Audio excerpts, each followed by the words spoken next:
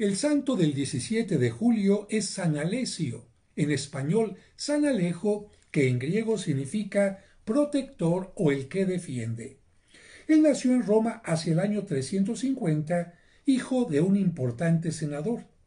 Deseoso de vivir las enseñanzas de Cristo, abandonó las comodidades de su casa y prefirió vivir como mendigo. En su peregrinar llegó hasta Edesa, donde había predicado el apóstol Santo Tomás. Ahí, gracias a su testimonio y predicación, logró obtener varios prodigios. Mientras tanto, en su casa de Roma, sus familiares lo buscaban angustiados.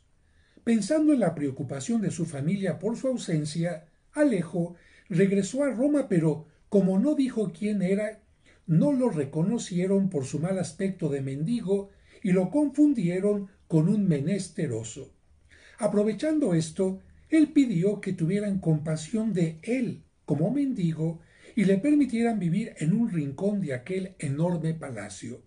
Fue aceptado y vivió bajo la escalera comiendo mal y soportando los insultos de la servidumbre, pero él era feliz porque podía ofrecer a Dios su pobreza.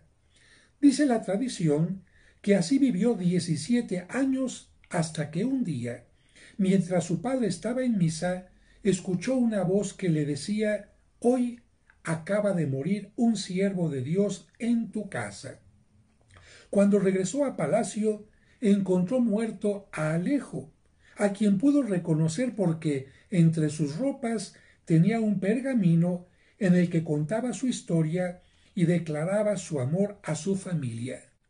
De esta manera, Alejo consiguió la santidad, viviendo en pobreza y aceptando las humillaciones que le hacían por el amor a Cristo.